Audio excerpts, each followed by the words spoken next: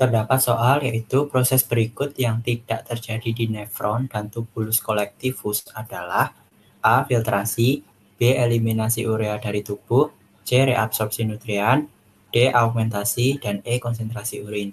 Tentunya kita harus tak mengetahui apa saja yang terjadi di dalam nefron dan di dalam tubulus kolektifus.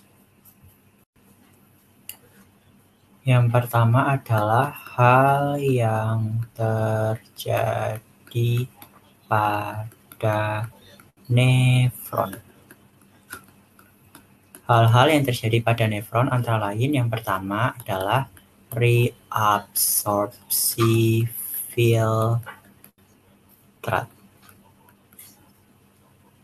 Jadi uh, di dalam nefron nanti akan terjadi proses tahapan kedua dari pembentukan urin yaitu reabsorpsi di mana urin primer hasil dari filtrasi glomerulus akan masuk ke dalam nefron yang akhirnya urin primer ini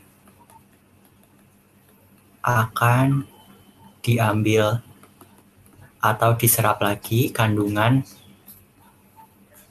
nutrien di dalamnya. Sehingga nanti urin primer akan berubah menjadi urin sekunder, di mana kandungan nutriennya sudah berkurang. Zat-zat yang diserap kembali antara lain air, glukosa, natrium, asam amino, dan nutrisi lainnya untuk dikembalikan lagi ke dalam darah di kapiler yang posisinya mengelilingi nefron dan tubulus-tubulus. Lalu proses yang kedua adalah mengeliminasi mengeliminasi urea dari tubuh. Jadi pada nefron juga terjadi proses penghilangan urea dari dalam tubuh. Sisa-sisa metabolisme seperti protein dikeluarkan dari tubuh manusia dalam bentuk urea melalui urin. Jadi nanti urea dibuang dalam bentuk urin.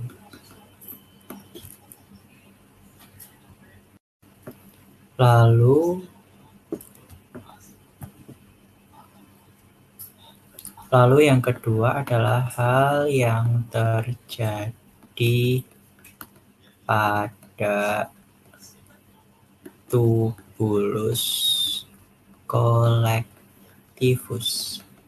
Hal yang terjadi antara lain yang pertama adalah proses augmentasi. Proses augmentasi merupakan tahapan ketiga atau tahapan akhir dari proses pembentukan urin pada manusia. Proses ini dilakukan dengan meningkatkan kandungan zat sekresi seperti kalium dan kalsium.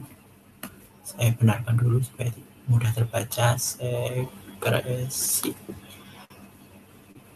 Selain itu, yang kedua adalah konsentrasi urin.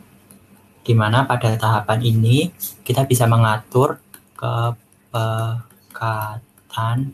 urin yang akan dikeluarkan oleh tubuh kita. Hal ini bergantung pada jumlah air di dalam tubuh kita. Apabila jumlah air di dalam tubuh kita sudah mencukupi atau banyak, maka urin yang dikeluarkan akan bersifat encer. Berbanding terbalik dengan apabila kondisi tubuh kita kekurangan air, maka urin yang akan dikeluarkan akan cenderung pekat. Proses yang dilakukan uh, di dalam tahapan augmentasi maupun konsentrasi urin ini dilakukan oleh tubulus kolektivus.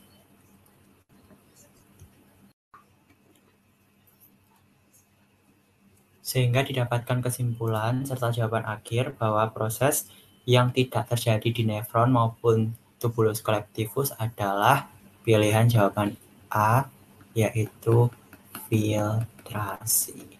Karena proses filtrasi ini tepatnya terjadi pada badan Malpighi yang terdiri atas yang pertama kapsula Bowman dan yang kedua adalah glomerulus.